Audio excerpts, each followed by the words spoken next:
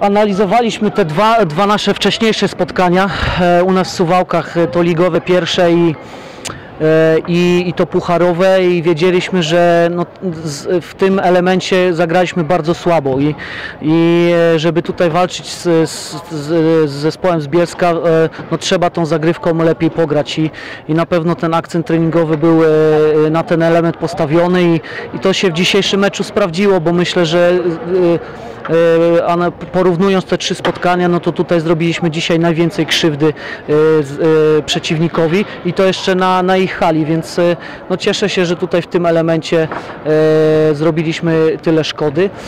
Mieliśmy swoje szanse w tym, w tym spotkaniu, e, mieliśmy swoje szanse i w drugim secie. E, nie wykorzystaliśmy ich i, i siatkówka niestety gra, to jest gra błędów. Kto tych błędów więcej popełni, ten, ten, ten przegrywa. No, udało się mimo wszystko zrobić ten mały kroczek i, e, i zdobyć, e, zdobyć tu tak punkcik. Czy nam to da, e, ile nam to da, to zobaczymy jakby po zakończeniu tych pozostałych spotkań e, i czekamy na, na przeciwnika. Nie znam wyniku, więc, e, więc e, po prostu czas pokaże i zobaczymy co nam los da.